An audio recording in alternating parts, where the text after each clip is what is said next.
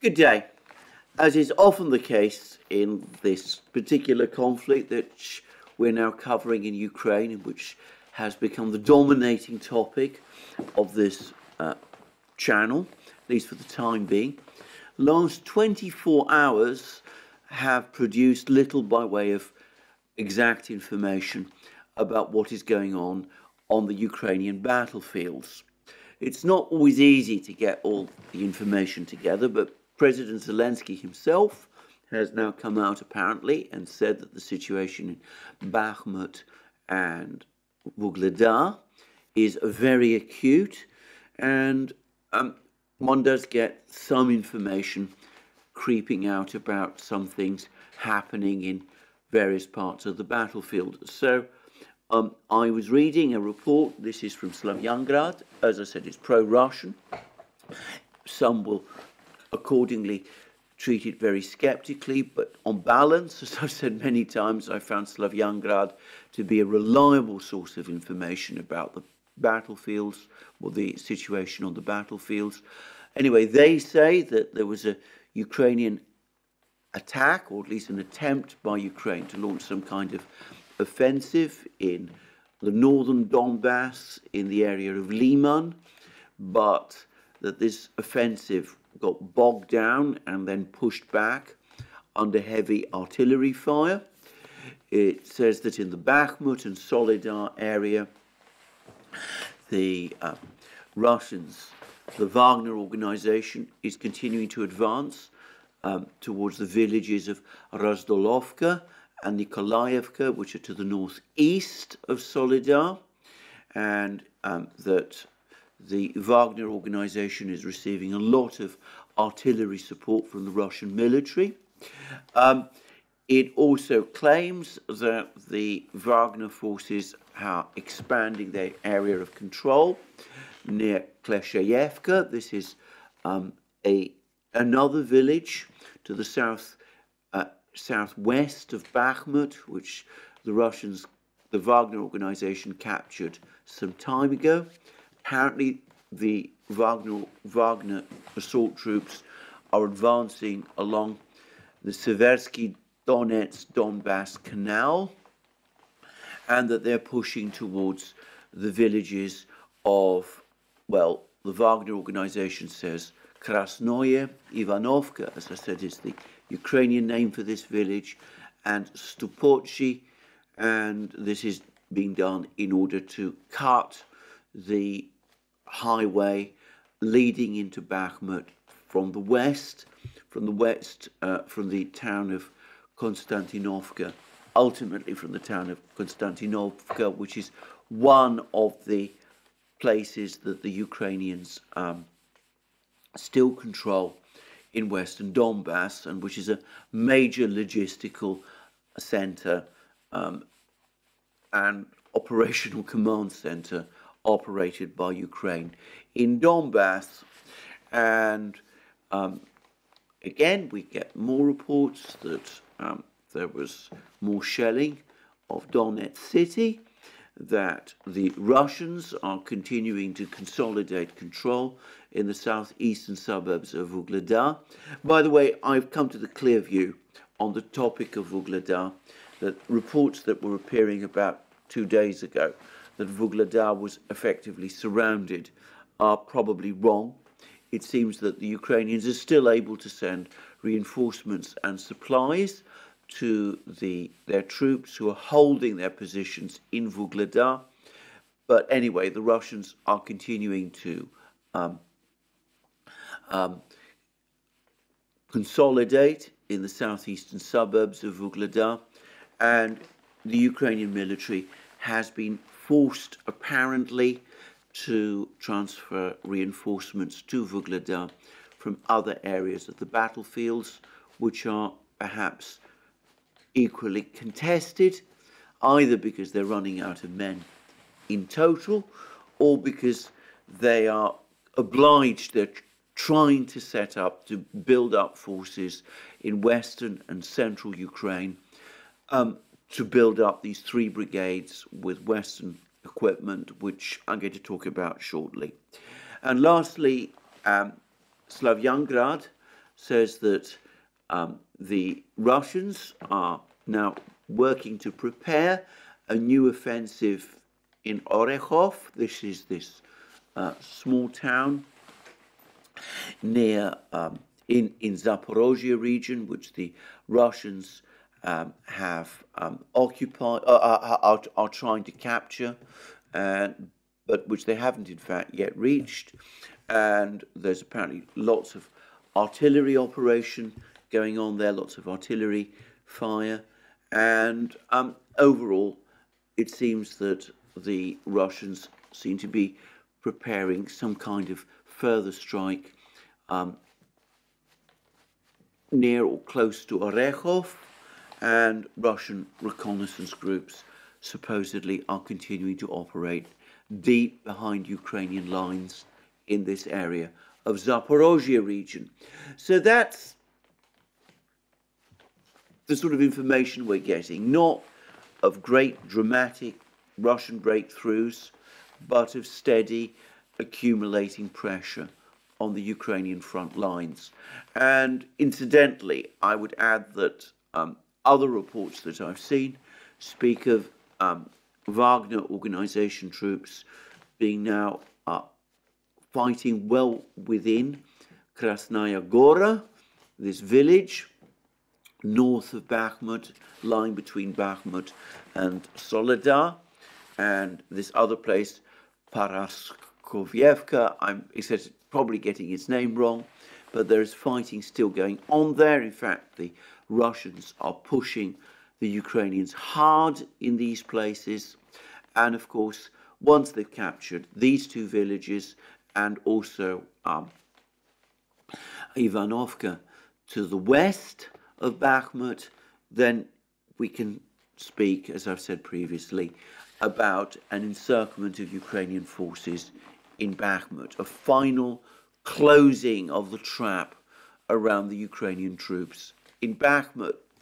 Now, about the situation in Vuhledar and in Zaporozhye, uh, there's been lots of discussion. The Institute for the Study of War says that these are all operations that have been carried out by the Russians basically to probe Ukrainian defences. There was an article in The Guardian um, from a British journalist who went to the area, and um, that's to say the Zaporozhye, uh, southern Donbass area, spoke to Ukrainian commanders and troops. They're not, I should stress, didn't actually go to the front lines, but he, he says, he claims that the Ukrainians are talking about limited Russian forces being committed to this area of the battlefields.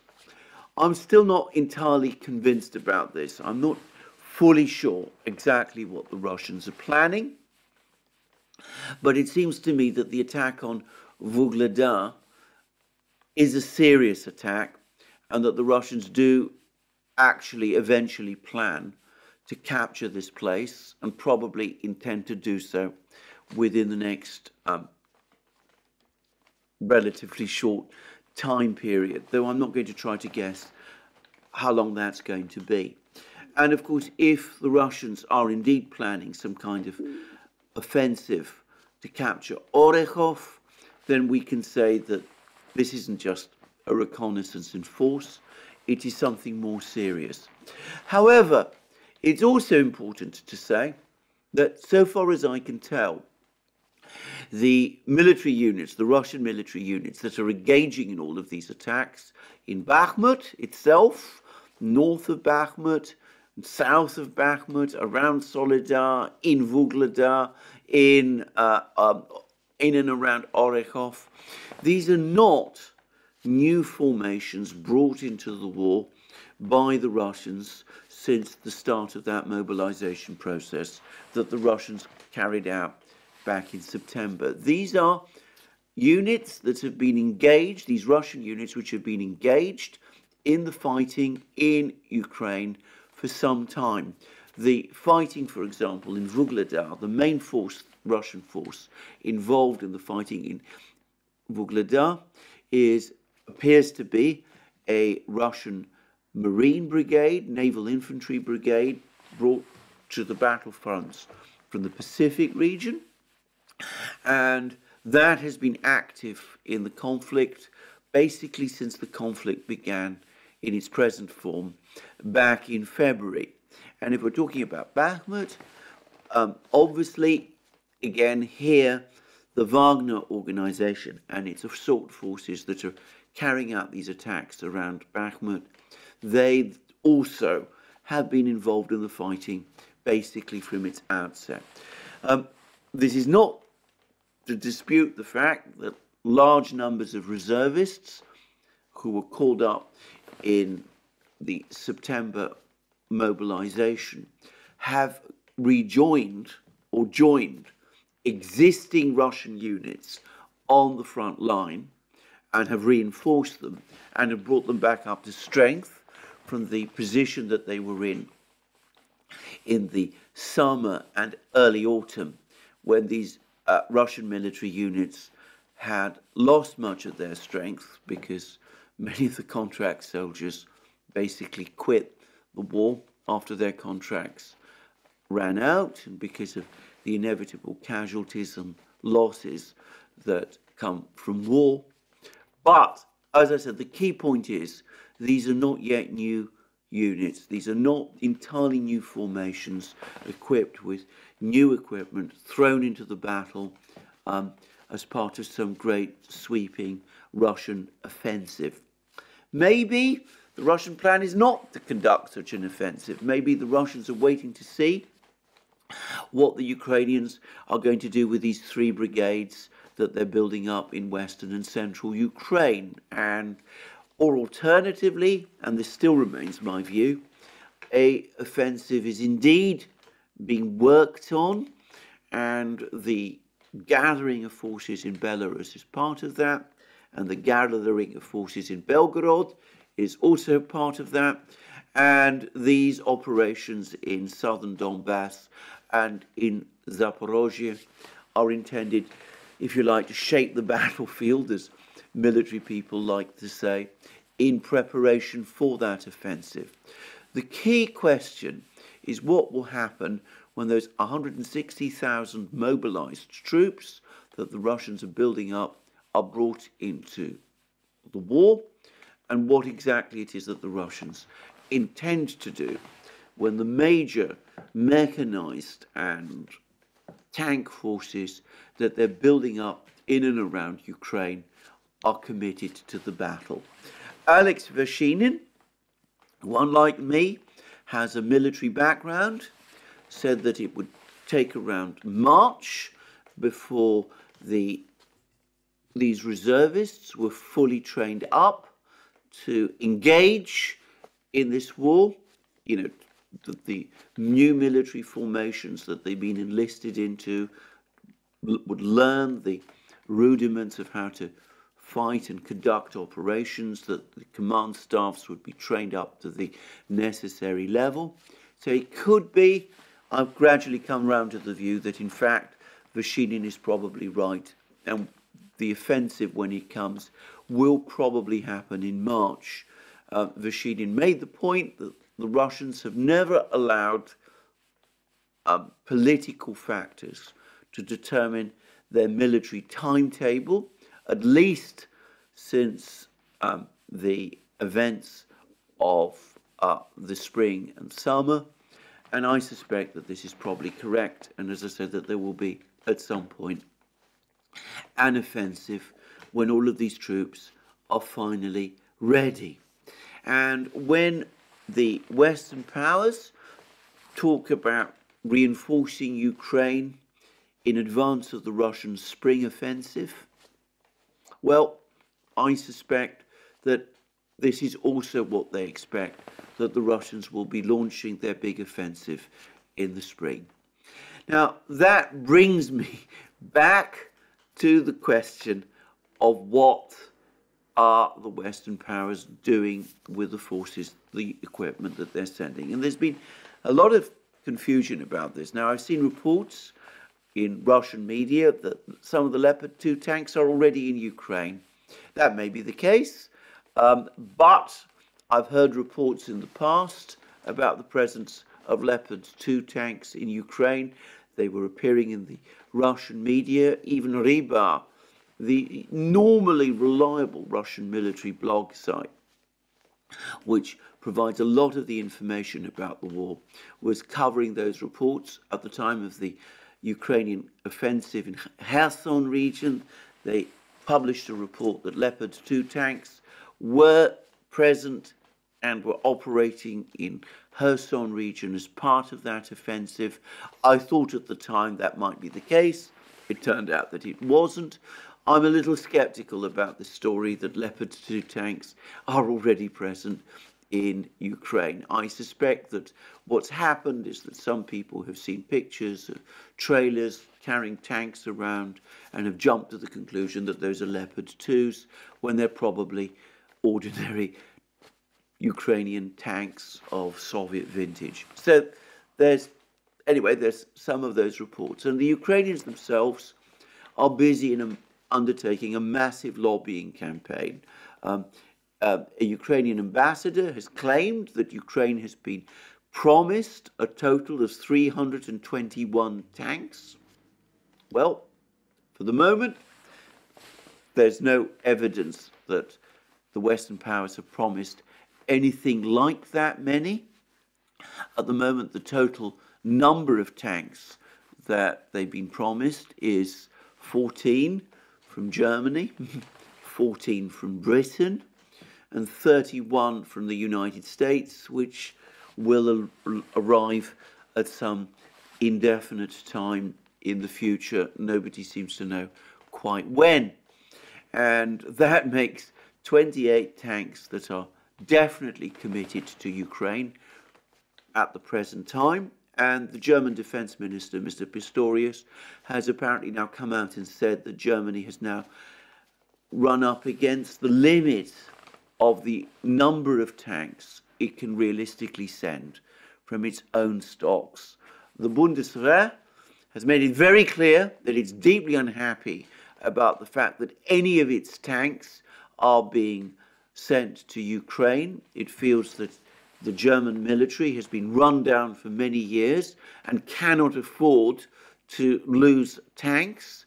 And by the way, as I've basically indicated from some of the articles in the Daily Telegraph that I've been reading, there's similar skepticism, though more quietly expressed, on the part of the British military as well. And of course, the US military has been openly critical of the whole idea of sending its tanks, US tanks, to fight, to engage in this conflict in Ukraine. Now, Olaf Scholz spoke about two battalions of Leopard 2s being formed for Ukraine. Um, it's been suggested that this is somewhere in the region of 88 tanks in total. Should add the light French wheeled tanks to that number, though I doubt that they are going to be of very much use um, in attacking heavy fortified Russian lines. But anyway, that's what um, Scholz said. 88 Leopard tank, Leopard 2 tanks, wheeled tanks from France, and of course we've now got 109 Bradley infantry fighting vehicles and 40 Marder fighting infantry fighting vehicles, and there's also British Bulldog armoured personnel carriers and a smorgasbord of uh, equipment and uh, equipment, all kinds of self-propelled howitzers and all sorts of things, all being assembled and put together in western Ukraine. And it's now essentially confirmed that the intention is to create a force of three brigades. Three brigades operating all of this Western equipment. And for the moment, at least, there doesn't seem to be any plan going beyond that. 321 tanks may be the Ukrainian wish list, but at the moment they're not being they're not going to be provided with anything like that many. Now there's been a fair number of articles from Western writers, uh, military people, Scott Ritter, uh, Daniel Davis, talking about the logistical nightmare that Ukraine is going to face operating this complex smorgasbord of different tanks and infantry vehicles and howitzers and uh, self-propelled howitzers and that sort of thing. And of course, it's also the case that three brigades, Scott Ritter guesstimates that the total number of troops engaged in these brigades will come to something like 20,000 men in total. Presumably, that isn't just the people who will equip and operate these brigades, but the supply troops and logistical troops and maintenance troops and all of these people that um, participate in this kind of thing and are needed to keep brigades of this nature functioning. Well, 20,000 men equipped with around 100 tanks and 100 infantry fighting vehicles, 150 infantry fighting vehicles in total, all from different countries, all of them enormously maintenance heavy. In fact, despite all of all that we've heard, all the excitement, the energy, the discussion, the debate about these tank supplies, the way in which the supplies of these tanks are now spoken about as a game changer or have been spoken about as a game changer. It really isn't the enormous, powerful Western force, Western equipped force that some people are saying. And there's now been an article, even in the New York Times of all places, which appears to uh, acknowledge as much that these tanks are not going to be the silver bullet. They're not going to be the game changer in the war that they were presented as being a short time ago. And of course, three brigades, 20,000 men, is not, perhaps numerically at least, a decisively large force, given that we're talking about Russian forces that are now gathering in and around Ukraine, numbering perhaps half a million men. Some suggest even more than that. So I just want to reiterate that point. Now, of course, Ukrainian officials have been going around heavily lobbying, as have their friends in the West, for more weapons. Um, I read a report today that Ukraine wants 24 F-16 fighter jets, that it wants obviously ATACMS missiles. I read an article in the Daily Telegraph by General Ben Hodges, ex-general, retired General Ben Hodges of the US military, who wants um, Ukraine to be supplied with ATACMS missiles so that it can take capture, recapture Crimea. And well, we'll see whether eventually Ukraine gets this kind of equipment. I've been reading lots of things about problems involved in operating F 16s. The runways in Ukraine are in no condition to receive them. The runways could be easily targeted by Russian missiles, all those sort of things. Well, We'll see whether those weapons come. But again, 24 F-16 fighter jets is not going to change the course of the war, even if they are supplied. And of course, the United States can make many more F-16s. It can supply vast numbers of equipment to Ukraine. It can do all kinds of things like that. But the more it commits to Ukraine, the greater the problems become. And it's become very, very clear to me that over the last couple of weeks, there's been growing doubts about this war, about the commitment to this war expressed in elite circles, especially military elite circles within the United States. General Milley is openly skeptical. He says that there should be negotiations while there's still time.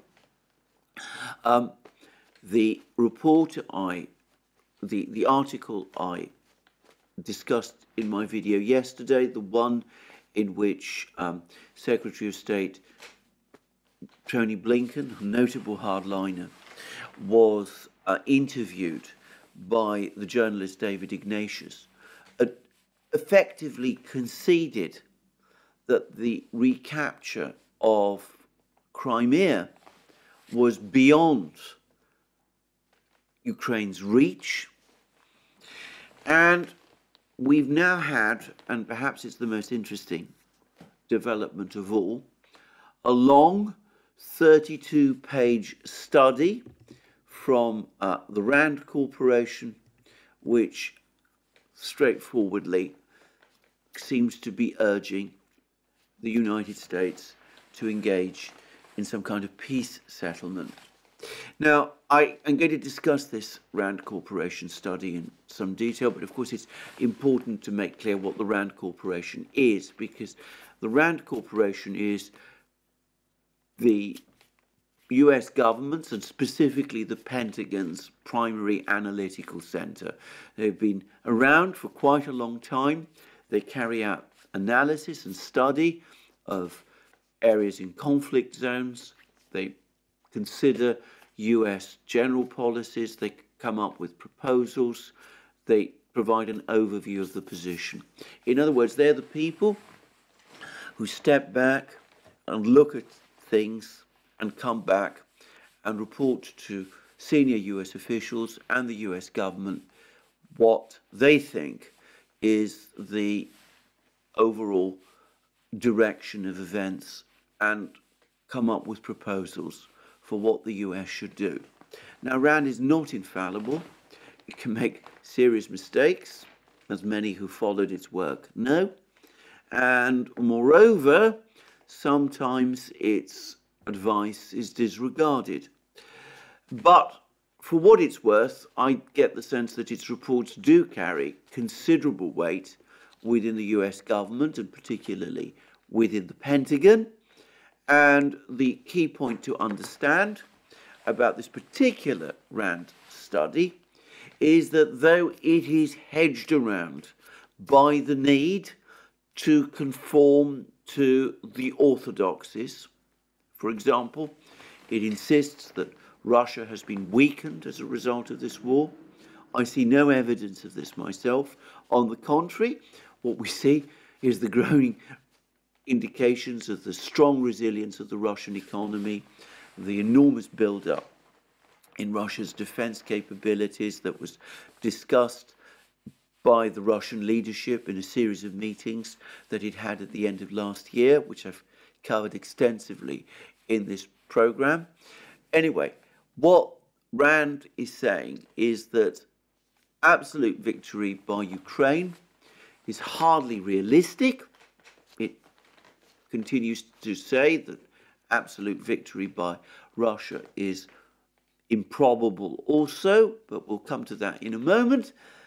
So, as I said, it's hedged around by um, the need to support current orthodoxies. It can't come out and say openly Ukraine is losing the war.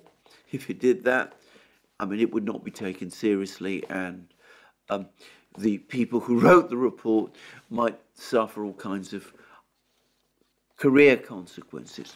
But what Rand is saying is that Ukraine cannot achieve, or is it's unrealistic to believe that Ukraine can achieve absolute victory, and most importantly, prolongation of the war is contrary to the interests of the United States. It is working against US national interest. Now, that is the most crucial point in the entire RAND study, and it's all set out in one key paragraph. It's a 32 page study But there's one key paragraph which, to my mind, sets out the position most clearly, and I'm going to read it. Our analysis suggests that duration is the most important of the remaining dimensions for the United States. The negative consequences of a long war would be severe. To be clear, severe for the United States. So long as the war is ongoing, escalation risks will remain elevated. And elsewhere in the study, it discussed escalation risks, the possibility that the Russians might start retaliating against NATO territory and NATO assets if escalation continues out of control, and also that there is a real possibility if escalation continues that nuclear weapons might at some point be used.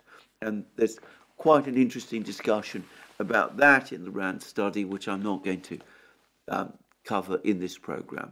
But then it goes on to say, um, duration and escalation risks are thus, thus, thus directly linked.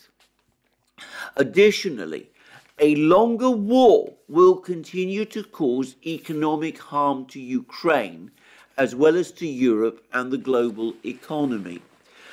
For the United States, a longer war will entail both increased direct costs, such as more budgetary and military support to Ukraine, and increased opportunity costs in terms of pursuing other foreign policy priorities.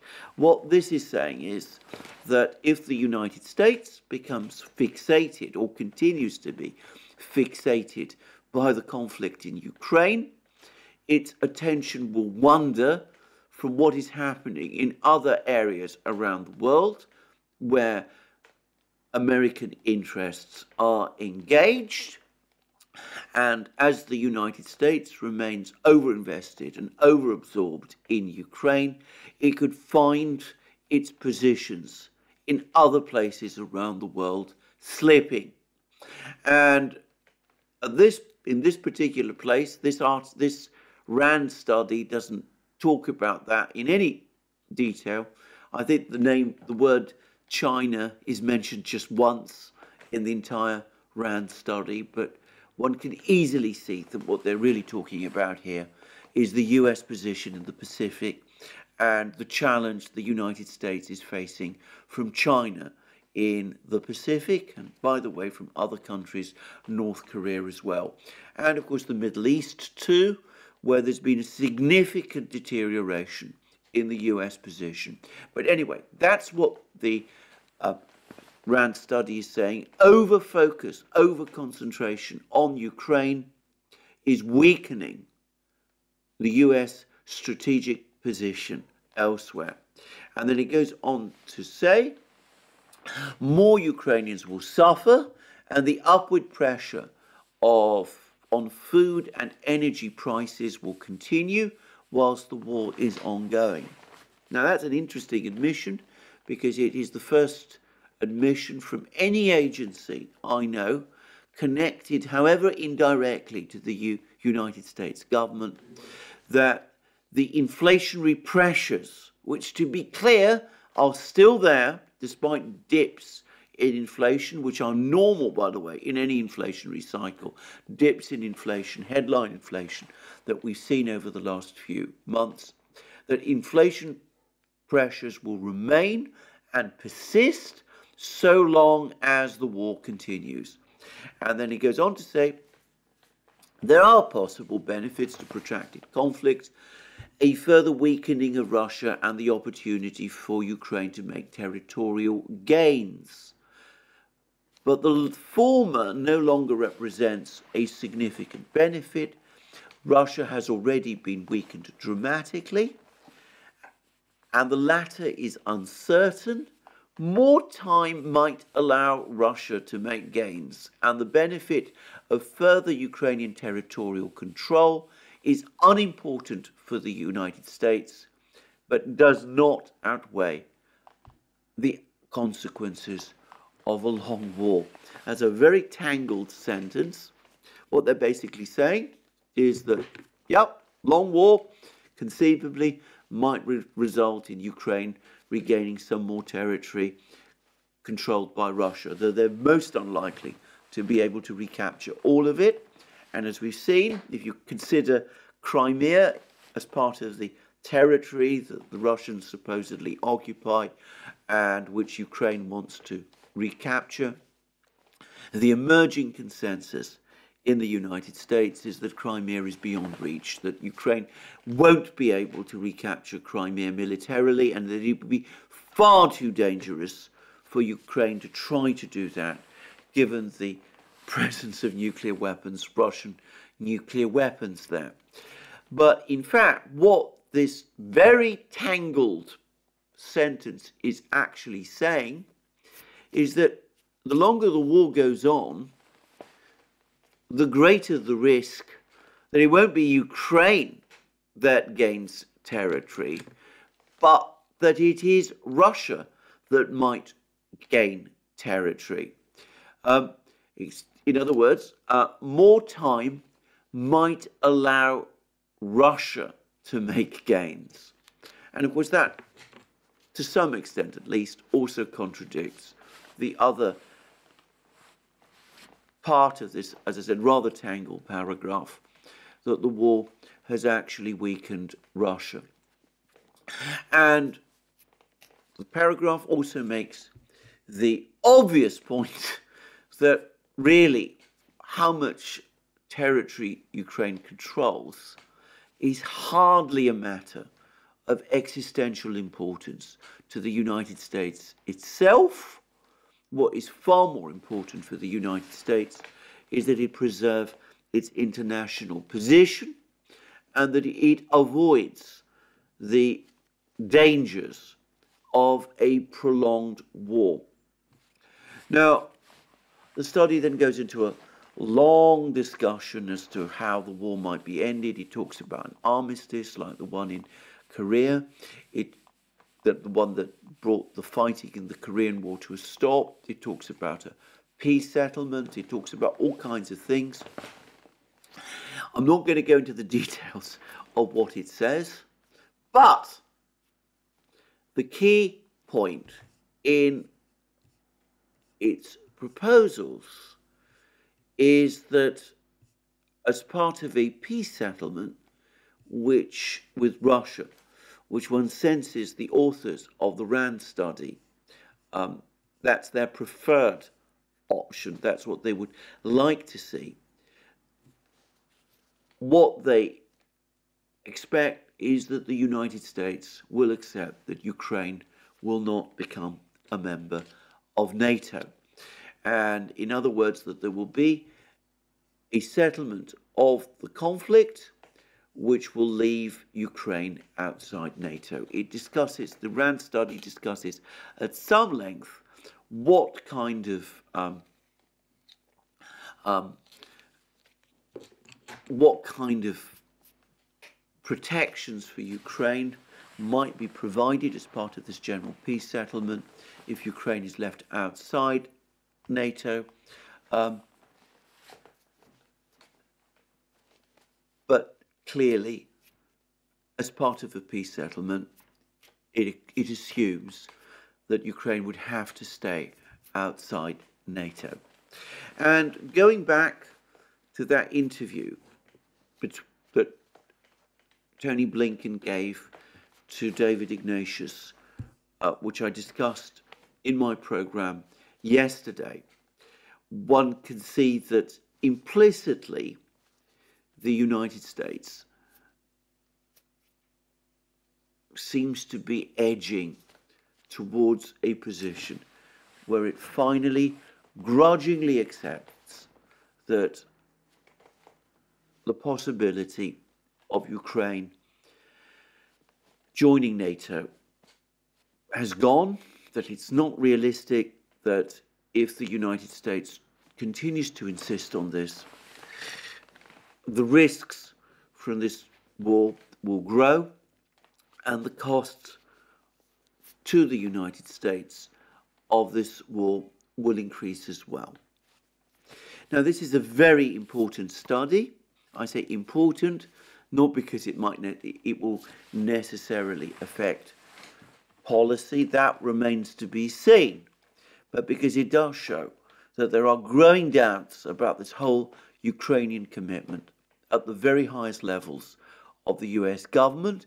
There's clear voices now speaking out against it, and that, by the way, come will bring me back eventually to these comments by Tony Blinken and Victoria Nuland, which I discussed yesterday, and about which I want to say more soon. Now, let us take a step back, however, and think more about what the problems for the United States would be if there was a prolonged war in Ukraine. Now, the RAND study makes the point that Ukraine is now overwhelmingly dependent upon the United States. If US and Western support were withdrawn from Ukraine, it would collapse. Um, Ukraine's ability to defend itself, such as it was, has gone. And here, perhaps, it's important to say that that ability was effectively destroyed in the first few weeks and months of the war. The Russians essentially destroyed Ukraine's army, its military capacity, its ability to defend itself on the strength of its own resources. And what we've been seeing over the last few days is more and more evidence that Ukraine's manpower resources are also becoming stretched. Now, I've been very careful, I am still very careful about taking all of these reports about Ukrainian press gangs roaming Ukrainian cities and um, seizing people on the streets and in hospitals and in all sorts of places and bundling them off into the Ukrainian army. I, I'm being a little nervous about these reports because I'm not always able to confirm their provenance. And I've seen lots of film which purports to show things like that happening, but I'm never completely sure what the film actually shows and how the film was taken and things of that kind. But the Hungarian government has now come out and claimed that precisely that sort of thing appears to be happening in uh, Transcarpathia, where there is a Hungarian minority and Hungarians are being in, in, in this part of the world are being forced into the army in exactly that kind of way.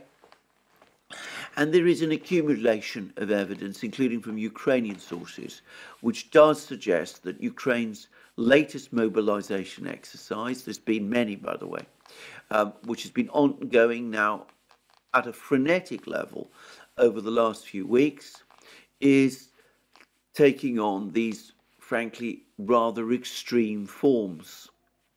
Now, that does suggest a number of things. It suggests growing unwillingness on the part of at least a part of the Ukrainian population to serve in the military, maybe reports of the enormous losses, the low survival chances of Ukrainian soldiers called into the army, maybe those reports have circulated, rumors about it have circulated in Ukraine, and maybe that's made many men more reluctant to serve in the army than before.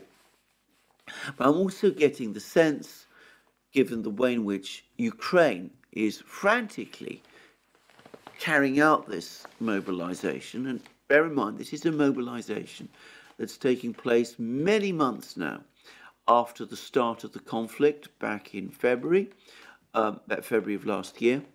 Um, the fact that Ukraine is forced to resort to these measures, well, it clearly does show, as I said, the reluctance of some Ukrainian men to serve in the military, but it also suggests that there are now manpower issues, genuine manpower issues within the Ukrainian army.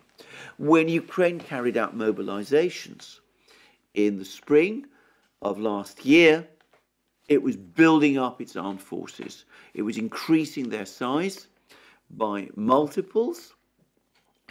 And though the quality of much of the enlisted manpower was perhaps not especially high in terms of training, um, nonetheless, that did mean that by the end of the summer, Ukraine did outnumber the U Russian army by a significant degree, and this was the factor which enabled Ukraine to launch its offensives in Kharkiv and Kherson region. Well, I get the sense that this mobilization is different, that it's not so much any longer about building up the Ukrainian army to a greater extent, making it bigger than it previously was, but to plugging the gaps, to finding men that can be sent to plug the gaps caused by Ukraine's existing very high losses and to hold territory um, along this very extended front line given the mounting Russian pressure on every part of the front line.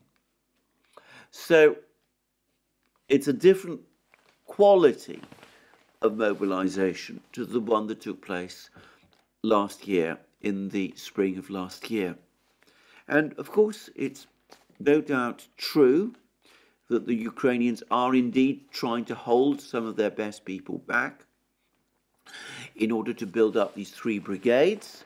And it's also no doubt true that these people who are going to be trained to operate these reserves are going to get this training in the West.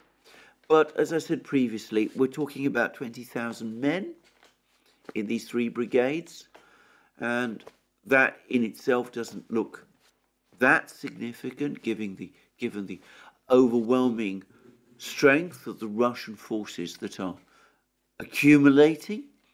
And it also calls into question whether there's that many troops anyway that can be built up or retained by Ukraine in any other reserves that Ukraine might be trying to build up in the rear as well.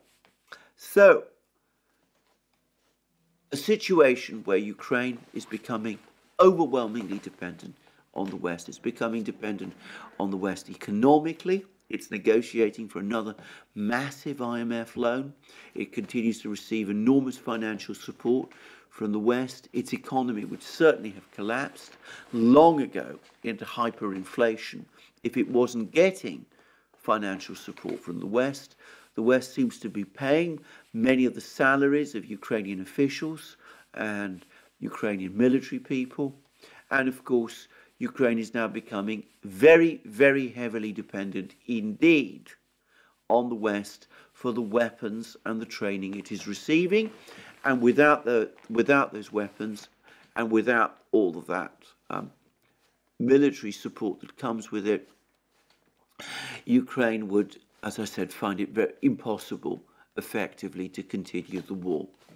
So, here we come to what that means for the West, for the United States. Now, we've already seen, Brian Berletic has discussed this at enormous and superb length on the new Atlas, how the United States is struggling to keep up with Ukraine's demands. It's basically given up the idea of supplying artillery shells and artillery pieces to Ukraine in anything like the number that would be needed to match what the Russians are using on the battlefields.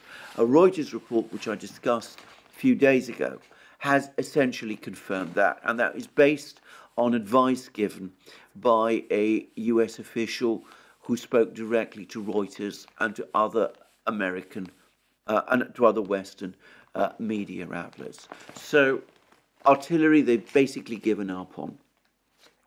They're now supplying tanks and armored vehicles, but European armies are not particularly well supplied with tanks. Now, there's around two and a half thousand Leopard 2 tanks in um, the West, Western Europe, apparently, but not all of them can be transferred to Ukraine. The militaries themselves need some of these. European NATO militaries need some of these. Many of these tanks are apparently in poor condition. Um, so it may be that the actual number of tanks that can be supplied is not that great. And the United States has many more tanks, it's got many more infantry fighting vehicles, but then, of course, it's got global commitments. It's got commitments all around the world, and that is what the RAND Corporation study is talking about. And overinvestment in Ukraine will mean that the military posture of the United States in other places could be weakened. And we've already seen concerns expressed by the US Navy, which is up against China. There's concern that within six months or so, they said, the United States might have to make some difficult choices. Now, the United States could increase weapons production. Now, Brian Berletic has discussed how complex and tough doing that would actually be. It would be enormously costly to do that. But there are also significant economic costs to doing that. And that, in effect, is what this uh, RAND study is also hinting at when it says that, when it hints at inflation costs. Now, let's just discuss what happened in the 1960s when the United States found itself in something like the same situation. The United States found itself in the 1960s in an arms race, a nuclear arms race with the Soviets. The Soviets were undertaking a major build-up of their nuclear forces at that time. And China, as we know, is in the process of doing the same thing. So the United States was driven to try to match in the 1960s the major, enormous build-up of Chinese nuclear, uh, of uh, Soviet nuclear forces. And today, the United States faces a similar challenge from China and, by the way, Russia also, because the Russians are also up upgrading their nuclear forces. But on top of all of that, the United States in the 1960s had to fight the war in Vietnam. And that meant that they had to produce tanks, armored vehicles, artillery shells, helicopters, bombs, all of these things. And what eventually happened is that costs spiraled out of control, and the United States at the same time found that it had to commit ever larger sectors of its civilian economy, its manufacturing base, to producing weapons. And that caused American finances to deteriorate, and it caused the US current account to go into deficit, and that put pressure on the dollar, causing the French in particular, but the French and the Germans together to some extent, to start demanding payment in gold, and that put increasing pressures on the fixed rate exchange system, fixed exchange rate system, created at Bretton Woods in 1944, leading to its eventual collapse in 1971. And we've obviously been in that world of fiat currencies even more. And US leaders, and it's important to stress that this is a fundamental misconception about the Vietnam War, US leaders, not perhaps the people at the center of decision making in the White House and the National Security Council, but the US leadership class, the military in the Pentagon, the top people in the business community, um, big law, all of those sort of people, began to become concerned in the late 1960s, early 1970s, that the United States was overcommitted to Vietnam, that it was putting strains on the US economy, strains on US society, that it was leading the United States to invest a disproportionate part of its military power in Vietnam, losing ground at that time to the Soviets, and at the same time, it was undermining the economic position, the relative economic position of the United States relative to other powers. And one of the great myths about you, you, Vietnam, about the Vietnam conflict, uh, one of the legends, if you like, about the Vietnam conflict is that what changed US policy over Vietnam was the protest movement that eventually, very belatedly, emerged in the United States opposing the war. Well, it was a factor in causing the war to end, to causing the US to pull back from Vietnam, and undoubtedly the opposition of large sections of US society to the idea of US soldiers being sent to fight in Vietnam did play a significant role. But what academic studies have shown is that the decisive voice in ending the US commitment to Vietnam did not come from those pressures. It came from within the elite, from within the leadership class, from within amongst people who were increasingly worried that Vietnam, as well as being a quagmire for the United States, was also a massive distraction from other more important things and was also undermining the economic and military foundations of American power at a time, as I said, when the United States was locked in an arms race, a nuclear arms race with the Soviet Union. And it was these people, these pressures from within the Pentagon, the business elite, the legal elite, always very influential in the United States, that fundamentally and ultimately pushed a change of course. Now, what this RAND study and the comments from the Pentagon seem to suggest is that same, the same concerns from the same sort of people are beginning to mount in the United States now. We are in a different world from the one in the 1960s. The United States, relative to its competitors, has a much smaller manufacturing base. It's going to struggle to keep up with the demands that Ukraine is making. And we've seen that there is no actual limit to Ukrainian demands. They're going to demand more and more weapons, machines. Um, that there is no limit to what the Ukrainians will want. And the US industrial system is less geared to satisfying those needs than it was back in the 1960s.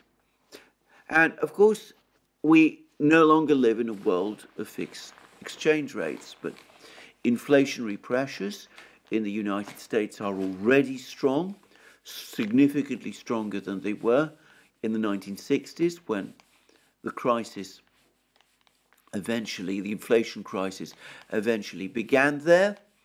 And the other thing is that, of course, if the United States has to divert more and more of its limited production capacity to producing weapons in order to keep up this war in Ukraine indefinitely against the Russians, well, that could cause US current account deficits to grow, US budget deficits to grow.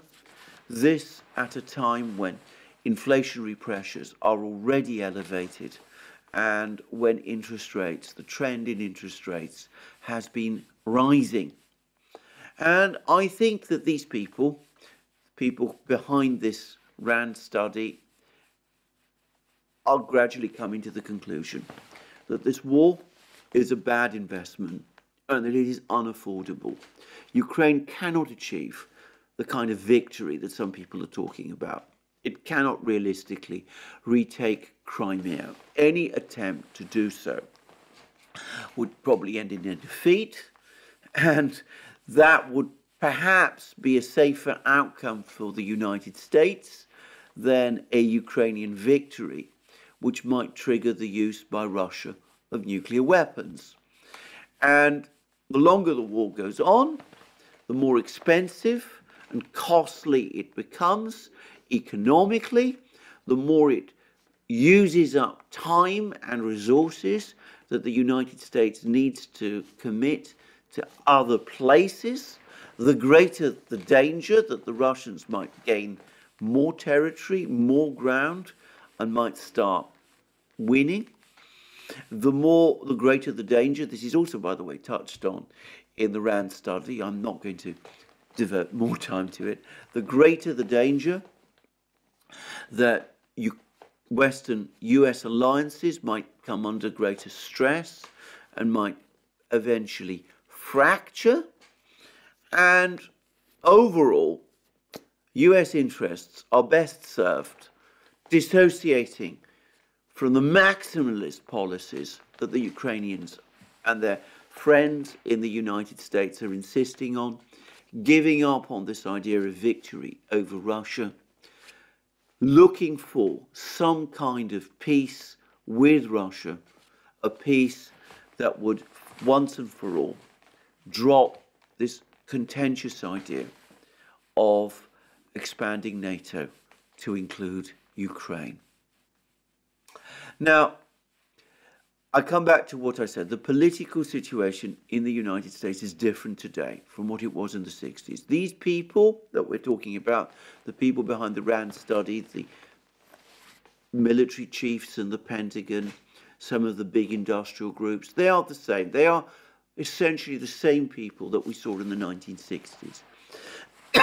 this time, we have a difference in the political class, the, the politicians. In the 1960s, back in the 1960s, the president, Lyndon Johnson, had been initially skeptical, or so it seems, about the commitment to Vietnam, though he was eventually won over to it and he became gradually ever more obsessed with it.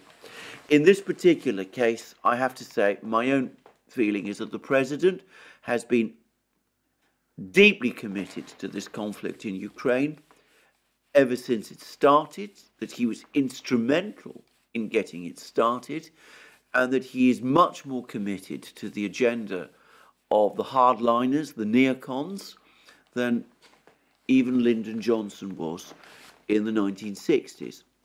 And the hardliners, the neocons, are much more entrenched in the key, the key agencies of the US government, the um, National Security Council, the State Department, parts of the intelligence community. That was the case in the 1960s. So it's going to be more difficult for the forces behind the RAND study to prevail, I suspect, than it was in the 1960s. But then again, we are at a fairly early stage, probably, in this conflict. We don't quite know how it's going to evolve.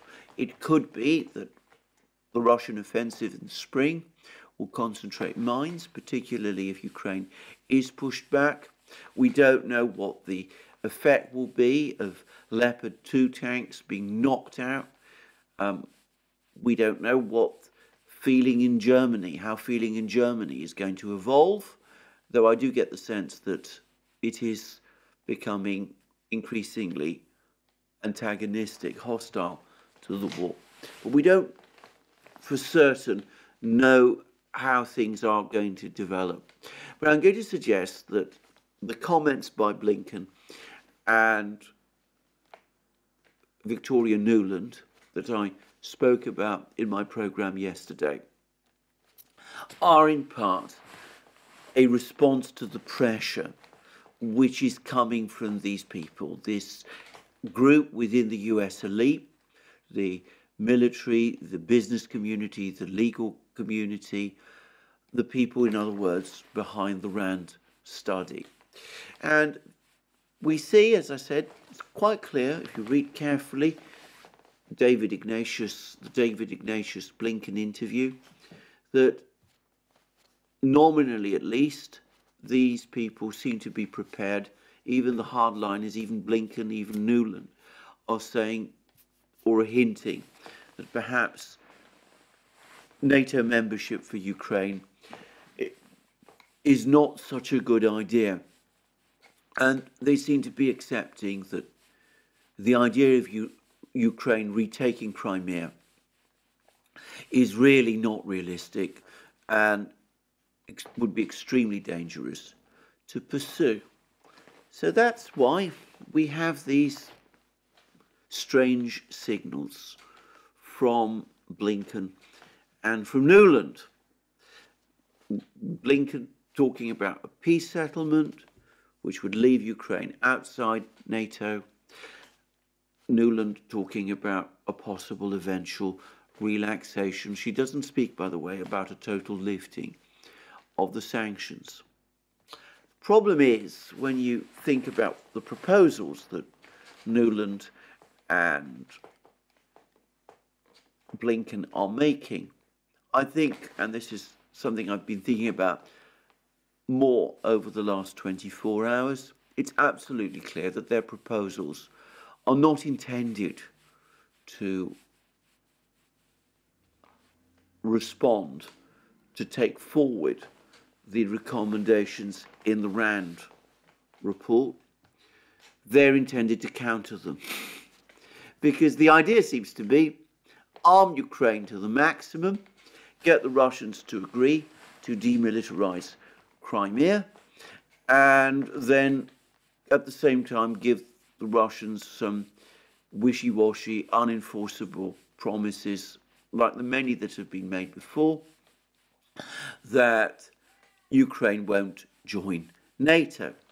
Well, as I pointed out in my program yesterday, and as I also further pointed out in a discussion I had about this proposal with Alex Christoforou on the Duran, which you can see, by the way, there's a video um, on uh, covering this very same proposal.